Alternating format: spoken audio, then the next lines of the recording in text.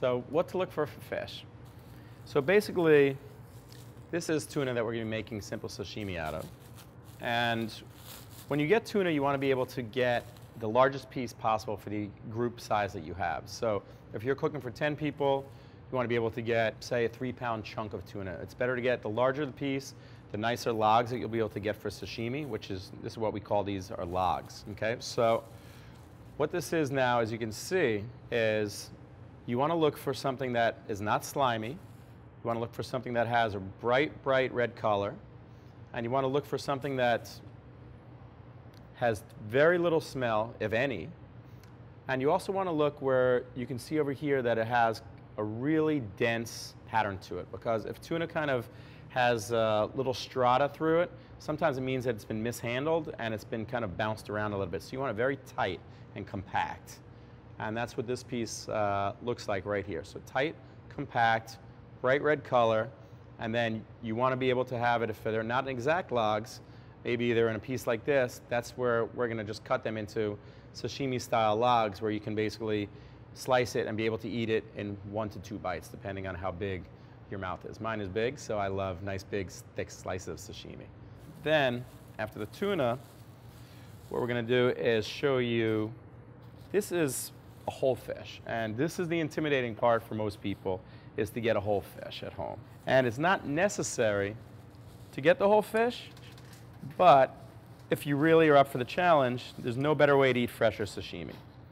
Because what you can look for is bright eyes. Okay, so you can see here, the eyes aren't cloudy, they're not murky, the eyes uh, are really crystal clear. And you want to look for a fish also that is not dry. So you can see this fish is wet. The skin is very firm when you press it. All its fins are still on. So you know that uh, it hasn't been beaten up a little bit. And you also, again, want to smell it. It should have no smell and no slime. And if the fish does have some slime, when you get a whole fish, because a lot of times when you get a really, really fresh fish, whether it be in, in rigor mortis or if you just catch it, a lot of times it's almost like a sweating mechanism. So what you want to make sure you do is, if there is slime where you look at it and the eyes are crystal clear, the gills, here the gills have kind of been cut out, but you want to look for red, red, red gills. But if there is some slime on it, just rinse it under cold water and put it in some ice and then you can kind of rub the slime off. So slime is not the reason for a bad whole fish sometimes. Sometimes it can be the freshest fish will have some slime on it. And then you can see on both sides of the fluke here, you can see how clear, again, the white side is. So this is a fish that's been treated beautifully. It's not bruised up. Sometimes you'll see like uh, almost like black and blue marks or, or, you know some gaff marks where sometimes uh, there's been uh, a hook or something inserted into it and it kind of rips the meat open. So you want something again that's very very smooth, very firm. You can see that there's no give whatsoever when I'm pushing in the fish. Okay. And that's for the fluke. And then we're going to be making what I love is, again, especially depending on where you live, to get live, uh, live seafood. And these are live scallops.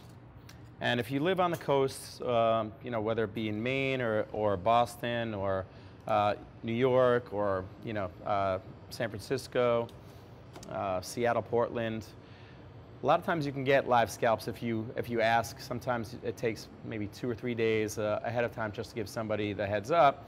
But live scallops are the easiest thing. It's easier to shuck than an oyster.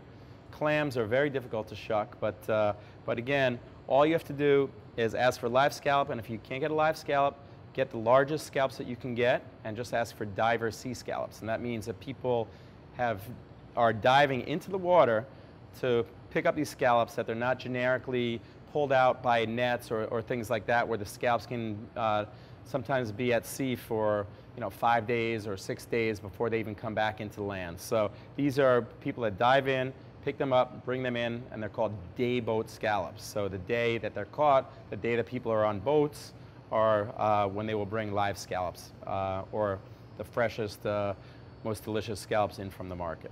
And again, with these oysters, we're talking about sashimi and fish today, but oysters, easiest and most delicious way to prepare any kind of uh, crudo uh, sushi.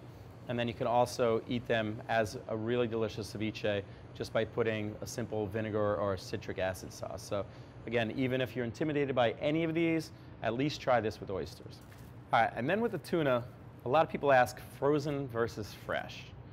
And it's funny because in Japan, all the best tunas that you get, the otoro, and the chutoro, and the, those huge like 500 pound uh, frozen blocks of tuna that you see at, uh, at Tsukiji Market in Tokyo, are all frozen.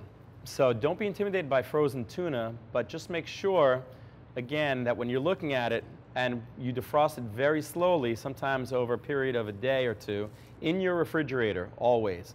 Never defrost fish at room temperature and never run water over it because that will definitely bruise it and the fish is so porous it'll be like a sponge and it'll absorb all that water and take all that beautiful texture and flavor out of it. So frozen is fine. Just make sure again you're buying it from a reputable person and just make sure that you're defrosting it in your refrigerator, wrapped in plastic wrap so it doesn't dry out and should be no problem whatsoever.